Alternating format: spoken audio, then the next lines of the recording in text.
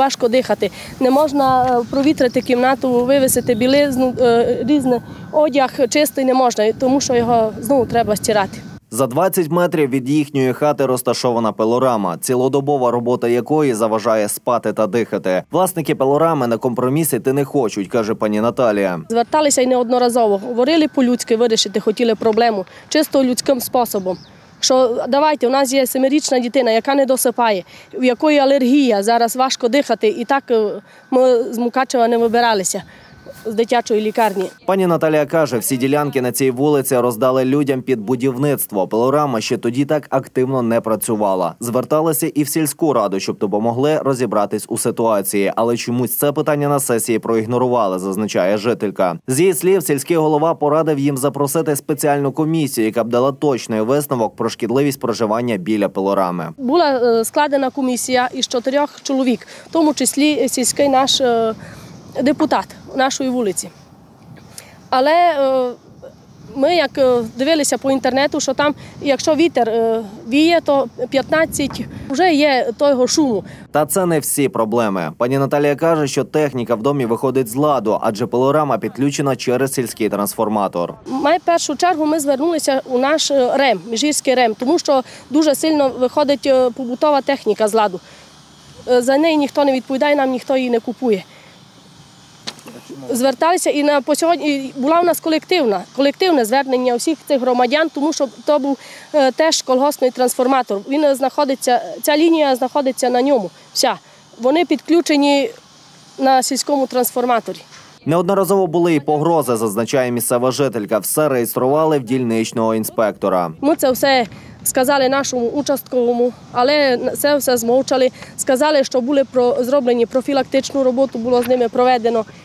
І погрожували мені, я працівник нашої Річківської загальноосвітньої школи. Мені погрожували теж роботою, що ти маєш роботу, мовчи, бо треба другим робити. Я кажу, робіть так, бо було добре всім. Якось піднімайте трубу. Спочатку ми домовлялися, щоб підняти трубу, але вони не підняли трубу. Казали, що заказують з Києва.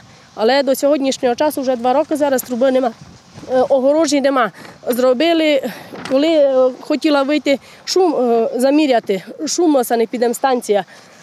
Вони принесли теж прилад е, такої давності, що він навіть стрілочка не колихнулася. Ми вирішили зустрітися з сільським головою, але не вдалося. У п'ятницю в робочий час сільрада зачинена. Довелося записувати коментар телефоном. Вона е, фактично використовувалася для е, виробничої діяльності, тобто лісопереробки, ще і за часів колишнього КСП «Плет», тобто з 80-х років минулого століття. І громадяни, е, які будували той будинок в той час, е, е, вони прекрасно е, розуміли, що вони будують цей будинок поблизу лісопереробного підприємства.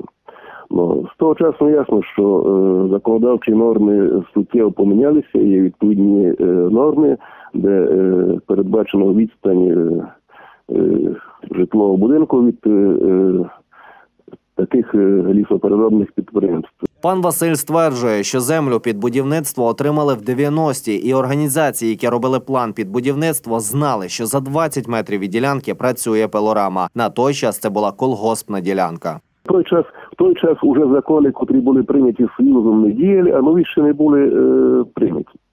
Тобто, виходить, така прогалина. Тепер, коли вже е, вступили в нову е, конкретно земельний кодекс, то далі, да, там є певна відстань передбачена. То. Ну, але, але що зробити зараз, буде ну, ніхто не перенесе, так само програму ніхто не перенесе. Василь Бігар каже: дійсно були звернення від громадян, які проживають біля пилорами, але проблема тільки в колишньому законодавстві. Неодноразово на, е, е, по цьому питанню е, приїжджали різні комісії, однак якихось конкретних фактів порушення чинного законодавства вони не встановили. Також е, для того, щоб провести об'єктивний розгляд, е, розгляд е, даного питання, ми зверталися до скаржників по про необхідність нам представлення. для об'єктивного розгляду питання це декларація про готовність свого житлового будинку до експлуатації або акт вводу експлуатації будинку.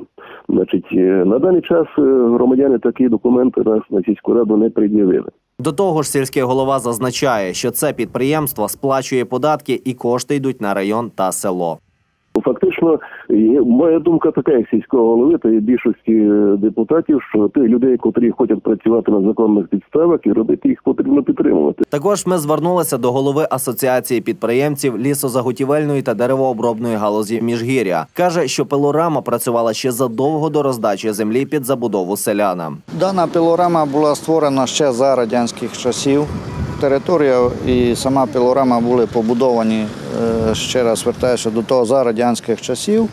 Потім та пілорама довший час не працювала. Сьогоднішній день приїхала людина з Чехії, е, відновила там роботу. І наскільки я володію ситуацією, е, там постійно виражає недовольство лише одна сім'я. Зазначає голова асоціації, що чоловік пані Наталії колись працював на цій пилорамі і був звільнений. Але який би конфлікт не був за документами, то була промислова зона. Чому віддали цю територію під забудову? Питання тільки до сільради. То була промислова зона. Там е, от так близько, як вони побудували хату, неможливо було будувати, ну, але їм дозволили, побудували. На сьогоднішній день треба якось ті питання врегулювати, чи ставити паркан, чи піднімати трубу. Ну то вже вони собі мають вирішувати. Вихід із ситуації досить простий, зазначає жителька. Достатньо того, щоб влада на місцевому і районному рівні звернула на неї увагу, і тоді в найкоротші терміни врегулюють це питання.